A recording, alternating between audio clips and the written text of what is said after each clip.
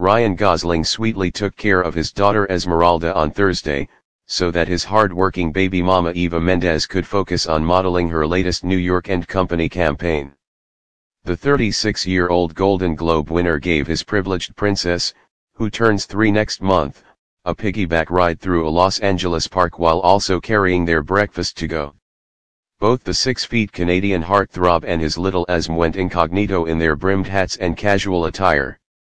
That same day, Saturday Night Live announced that the Nice Guys Funny Man would serve hosting duties for the second time when the 43rd season of the NBC sketch show kicks off September 30th.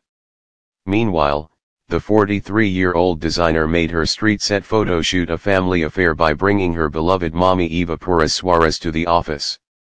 Eva was raised in Glendale by her Cuban mother following the Mann's Chinese theater employee's divorce from meat distributor, Juan Carlos Mendes.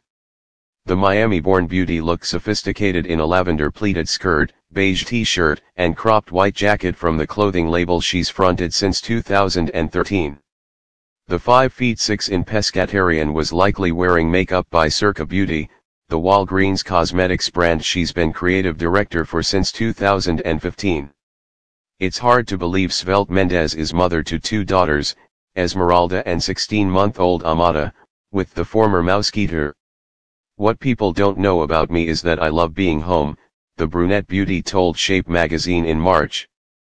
Instead of hitting the red carpet, I'd rather be with our girls. Eva put her own acting career on hold after portraying bloody burlesque performer Kat in Ryan's dismally reviewed directorial debut Lost River in 2014.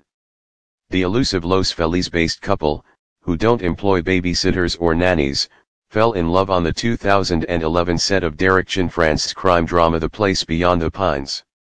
The Tagine restaurateur has made a habit of romancing his leading ladies after relationships with the Notebook's Rachel McAdams and Murder by Numbers Sandra Bullock. Gosling will likely move his entire family to Atlanta in November when he shoots Universal Pictures' Neil Armstrong biopic First Man with his La La Land director Damien Chazelle. The two-time Oscar nominee, who boasts 2.2 m followers, tweeted on July 20, incredibly honored to be a part of telling this story. Claire Foy, Kyle Chandler, and Corey Stoll will also appear in the 2018 astronaut flick based on James R. Hansen's 2005 biography. And this week, Forbes ranked the song-to-song actor No.